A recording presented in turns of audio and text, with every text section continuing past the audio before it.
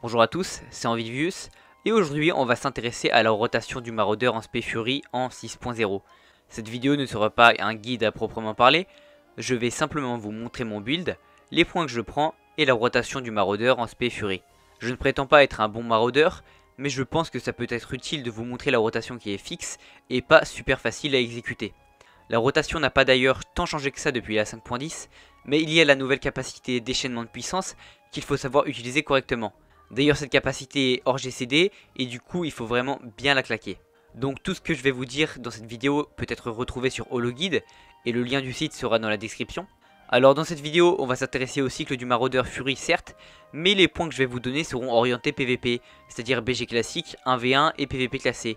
Donc j'ai fait quelques recherches et je suis allé voir sur le Star Pars notamment, et j'ai remarqué qu'environ 65% des joueurs en PVE utilisaient l'aspect annihilation, que 15% des joueurs en PvE utilisaient l'aspect carnage et que 20% des joueurs utilisent l'aspect furie. Donc euh, effectivement en PvE en général on va privilégier l'aspect annihilation et en PvP on va, utiliser préférer l'aspect furie. Euh, mais bon Hologuide dit que l'aspect carnage est plus utilisé pour le PvP classé donc euh, voilà je vous mets le screen à l'écran pour vous prouver cela. J'imagine que c'est vrai, donc en général on va plutôt utiliser l'aspect carnage et furie en PvP et du coup c'est pour ça qu'on va être orienté PvP dans ce guide. Donc on va commencer par les caps. En PvE, il faut 1590 de précision pour atteindre les 110% de précision. Mais euh, ces statistiques ne nous intéressent pas en PvP. Donc personnellement, ce que je fais, c'est que je switch d'oreillette pour avoir moins de précision et plus de critique. Ensuite, pour avoir le GCD à 1,4 secondes, il faut 1214 d'alacrité.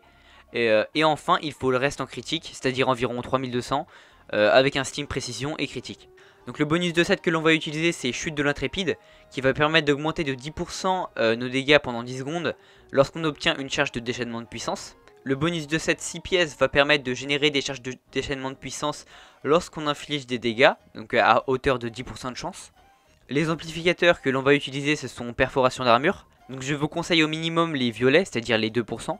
Si vous avez le bonus sur vos 7 pièces de stuff et sur vos deux sabres, ça fait une augmentation de la perforation d'armure de 18%, voire plus si vous avez les amplificateurs à 2,50%.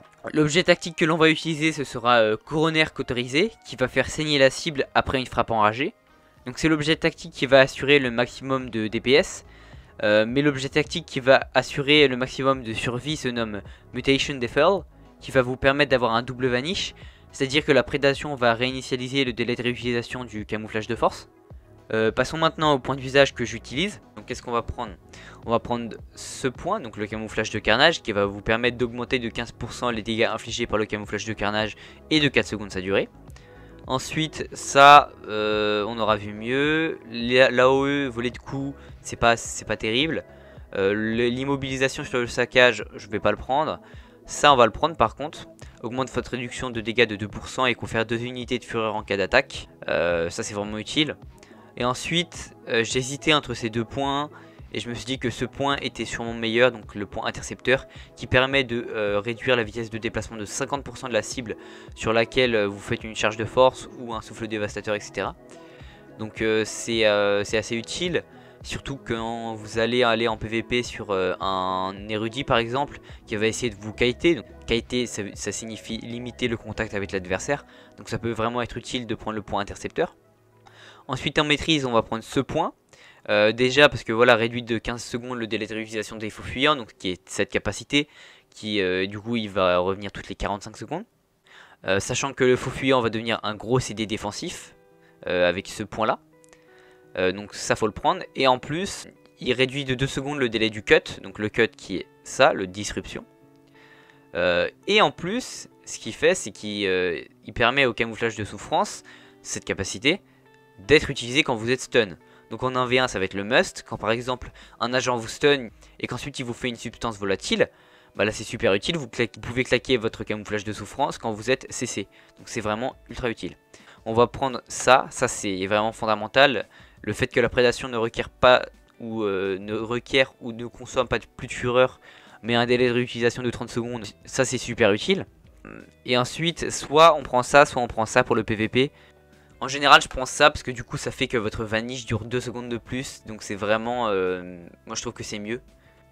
Donc ensuite, en héroïque, qu'est-ce qu'on va prendre? On va prendre ce point qui est euh, super important. euh, qui va vous permettre de, de générer jusqu'à 30 points de fureur au cours de l'utilisation de la haine canalisée, donc qui est ça. Donc c'est vraiment super utile. Ensuite, on va prendre ce point-là qui va vous permettre d'avoir un CD défensif sur le faux fuyant, donc ça c'est super utile. Réduit de 75% les dégâts infligés par les attaques de force et techno pendant 6 secondes, donc c'est vraiment énorme. Et ensuite, on va prendre un autre point assez défensif qui est celui-là. Donc euh, ça va vous permettre à chaque fois qu'on va vous taper pendant le retour de sabre, déjà de récupérer de la santé, 3% de la, santé euh, maximale. Euh, donc une fois par seconde, donc si on calcule, ça fait pendant 6 secondes, une fois par seconde, donc ça fait 18% de votre santé maximale, ce qui est assez énorme. Et en plus d'être immunisé pendant 6 secondes aux, aux effets d'étourdissement et de sommeil, c'est vraiment utile. Donc on va faire appliquer. Ça c'est mes points pour le PVP. Pour le PVE, je vous conseille de prendre ce point. Euh, qui va vous permettre d'augmenter un petit peu vos, dégâts euh, sur, euh, sur le, vanish. Ce qu'on va faire, c'est qu'on va faire camouflage de force, puis ensuite frappe enragée. Et ça va augmenter vos dégâts. Au niveau de la rotation, il va falloir d'abord stacker sa fureur en utilisant sa régénération N canalisée ou alors la frénésie qui va automatiquement vous conférer 30 unités de fureur. Dès que vous avez les 30 unités de fureur, vous pouvez effectuer une charge de force sur la cible.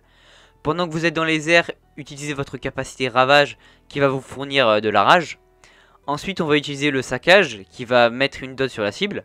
Après cela, on va utiliser la rafale frénétique, puis le déchaînement de puissance. Si vous êtes en PvE, vous pouvez euh, vanish, puis faire une frappe enragée. Et en PvP, faites simplement une frappe enragée. Ne gaspillez pas votre vanish pour une augmentation de DPS on va utiliser une fente vicieuse, euh, qui est la compétence filler, si la cible a plus de 30% de vie, et un lancer vicieux si la cible a moins de 30% de santé. On va enchaîner avec une extermination, puis un assaut martyrisant, qui va générer des points de fureur. On utilise ensuite l'écrasement de force, qui va poser une dot sur l'adversaire. Après cela, on utilise la rafale frénétique, puis le déchaînement de puissance. On fait une frappe enragée, qui va poser une dot grâce à l'objet tactique que l'on utilise, qui est coronaire cautérisé, on fait après le filler, soit le lancer vicieux, soit la fente vicieuse en fonction du pourcentage de santé de la cible, puis une extermination et enfin un crit de force. Comme vous l'aurez remarqué, après le crit de force, nous avons de nouveau 30 unités de fureur et pouvons de nouveau utiliser le ravage puis recommencer le cycle. Comme vous le voyez, le cycle est rigide et il faut bien le respecter. La manière la plus simple d'apprendre est d'aller sur un poteau, puis de mettre les compétences dans le bon ordre dans vos barres, puis de répéter, répéter et répéter le cycle. Ce genre de cycle est plus facilement apprenable avec des binds, c'est-à-dire que si vous assignez des touches pour vos compétences dans les barres, ce sera bien plus simple de l'apprendre, car ce sera un automatisme dans votre cerveau. Dans mon cas, je sais qu'il faut faire E, bouton de souris, V, C, Maj F, CTRL X, etc. Je vais maintenant vous faire une petite démonstration sur un poteau à 3,5 millions pour vous montrer ce que donne le cycle en application. Si vous êtes un bon maraudeur, n'hésitez pas à me donner des conseils pour améliorer mon DPS sur poteau dans les commentaires. Donc place au cycle, ne vous attendez pas à un miracle au niveau du DPS. Je tourne autour de 21k, ce qui est correct, sans être excellent.